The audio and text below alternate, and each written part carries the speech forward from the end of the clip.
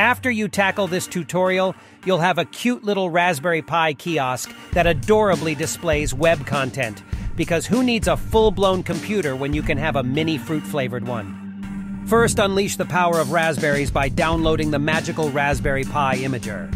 Psst! If it's being a drama queen with OpenGL issues, a reinstall will do the trick.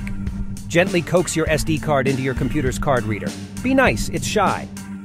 Time for some downloading wizardry. Snag that desktop Raspberry Pi OS image like a champ. Place your SD card into your Raspberry Pi's loving embrace and power it up. Don't forget the Ethernet cable, or your Pi might get lonely. Show your Raspberry Pi who's boss by creating a user and password. Username, Supreme Ruler. Go ahead, install the i3 Window Manager and turn your computer into an enigma wrapped in a riddle, known only to you and the chosen few who have transcended mainstream computing.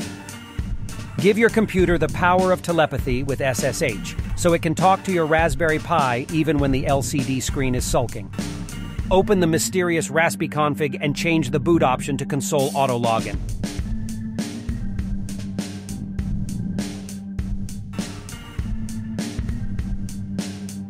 Channel your inner hacker and edit the .bashrc file to start the i3 window manager every time you log in.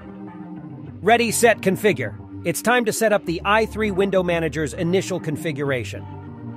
Add Chromium to the i3 window manager config so it pops up to say hello whenever you log in.